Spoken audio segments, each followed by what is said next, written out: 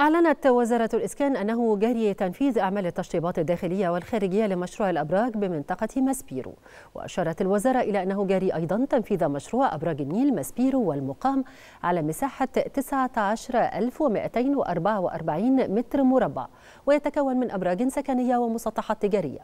يأتي ذلك في إطار تنفيذ توجيهات القيادة السياسية بإعادة مدينة القاهرة لرونقها الحضاري وتمكينها من ممارسة دورها التاريخي والثقافي والسياحي.